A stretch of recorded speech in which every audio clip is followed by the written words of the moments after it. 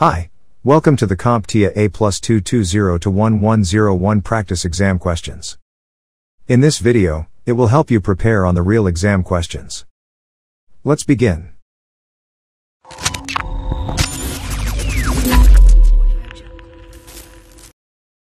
Question 1. Match each cloud model to its corresponding definition.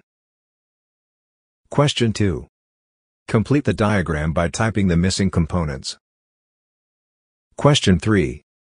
Sort the first three steps to resolve problems according to CompTIA troubleshooting methodology. Question 4. Sort the steps to resolve problems according to CompTIA troubleshooting methodology. Question 5.